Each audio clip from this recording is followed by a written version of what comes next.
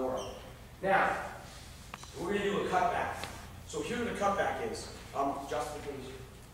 All right, I'm going to I'm to illustrate with these guys. It's a little bit easier for me. Uh, I don't care, Mario or Justin. One of you guys is going to shoot a head inside single.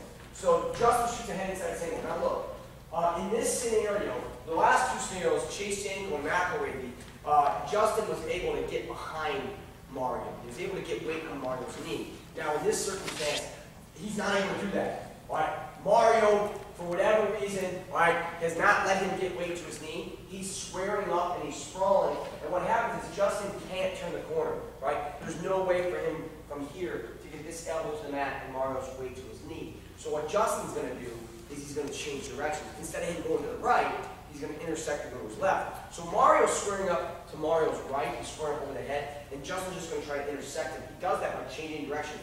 So instead of going to his right, he goes to his left. Notice left foot steps forward. He takes a step, he starts moving his body in this direction. He's going to windshield wiper this back foot.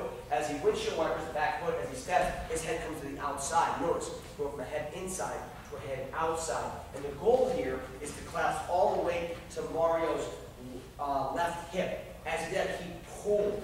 He pulls his right elbow into his stance, and he's starting to get all his weight to come towards Mario's left side here. That happened with that direction change, all right? When he changed direction, he put twisting pressure torque, on Mario's leg. From here, if, if Mario doesn't fall off, fall down, raise up, pull that leg across, and take Mario to that. Let's do it again. He starts by going right. Head inside, see with the right. As he goes right, Mario squares up and goes, goes to his right, all right? Mario's trying to face him, all right? So Justin now is going to change directions. Instead of keep chasing, which is not there, he's going to change directions, and he goes left. He takes a step with his left foot. Notice, moving his this direction, and he penetrates. Notice, that knee slides to the mat. It penetrates to the mat, and his head came to the outside. From here, he rotates down the right knee, and he pulls his elbows back into a stance. From here, you'll finish. Here's where you guys struggle, okay? Two things. One, defensively. This guy's got to give the right reaction. If Mario sprawls so much that his knee goes to the mat, sprawl a lot, if his knee goes to the mat, well, what's Justin going to try to do? What's that? Chase? Good. So if the knee goes to that, well then, then Justin's going to try to slide his elbow mat, run on run, step over, and finish, okay? If Mario's straight up and down, he doesn't sprawl at all, Justin would just drive his feet, okay? So we got to give a good reaction. I'm going to teach you, teach defense in a second. And when I teach you defense, what I'm going to say is, shut your head down, keep tight waist, square up, and sprawl. So Mario's going to be moving to his right, all right? Mario's going to be trying to square up and bring his hips in. He's trying to face Justin with his hips. Now Justin intersects him. Takes a step here, penetrates the knee, windshield wipers. Comes across. So we change direction. My hips, at first, we're trying to get around him. And then we switch. I take a step here. As I step, my head comes out, my hips underneath, and that collapses the weight on The spatial end. One. You guys will uh, unlock your hands and you'll go to a double.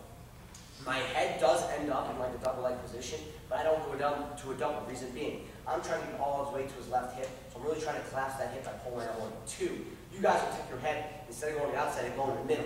I'm not trying to split the middle. I'm trying to go from head inside, head outside.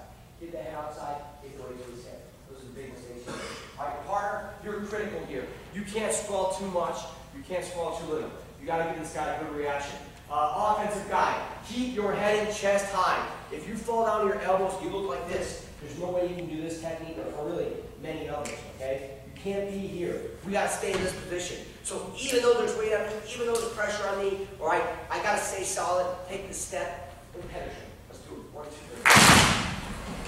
I'm like this, and even if I'm sprawling, I really didn't square up. And if I didn't square up, it's a, really far different distance for Mario to, to uh, get to the other side. And this guy won't stay like this. In this scenario, it's actually easy for Mario to pull my weight to my knee. Okay? If the guy doesn't screw up, he can pull the weight really easy. Okay?